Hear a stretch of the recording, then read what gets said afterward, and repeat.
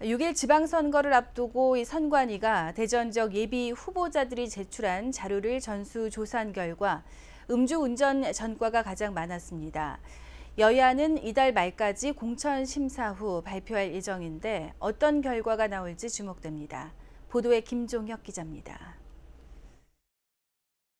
14일 기준 중앙선거관리위원회에 따르면 대전 지역 예비 후보 129명 중 전과 기록이 있는 후보는 총 32명, 24.8%로 집계됐습니다.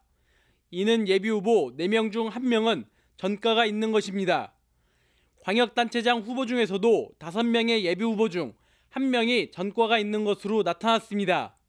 기초단체장은 23명의 예비 후보 중 8명으로 34.7%, 광역의원은 53명 중 17명으로 32%, 기초의원은 48명 중 6명으로 12.5%의 예비후보가 전과를 갖고 있었습니다.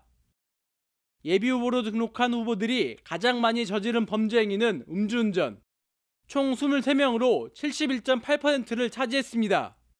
대부분 윤창호법 시행 이전인 2000년대에서 2010년대 사이 1회 음주운전 적발이었으나 광역의원 예비후보 등록을 한 A씨는 2005년에서 2015년 사이에 음주운전 5회 등총 6번의 전과 기록을 보였습니다. 이러한 예비 후보들의 전과 기록은 공천 과정에서 하나의 변수로 작용할 것으로 전망됩니다. 여야 공천관리위원회는 강력범죄와 가정폭력, 아동학대 등을 공천 부적격자로 분류하고 있습니다. 특히 음주의 경우 윤창호법 시행 이유는 1회 적발을 포함해 15년 내 3회, 10년 내 2회 이상 등 음주운전 부적격 기준을 유지하고 있습니다. 시민단체들은 정가가 있는 후보자가 나오는 것 자체가 그 정당에 대한 신뢰도를 떨어뜨리는 만큼 공천 과정에서 도덕성 기준을 명확히 해야 한다고 말했습니다. 이번 공천 심사 대상자들은 민의를 대표하는 어, 후보자들이기 때문에 각 정당이 시대에 맞는 그런 공천 기준을 강력하게 적용할 필요가 있다는 생각을 갖습니다.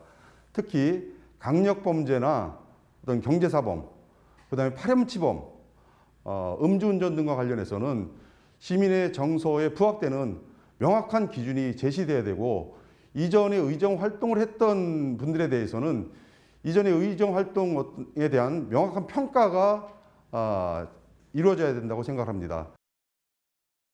여야 시도당에서 지방선거 후보자 옥석 가리기가 진행 중인 가운데 과거 전가 기록이 공천 심사에 어떠한 영향을 미칠지 이목이 집중되고 있습니다.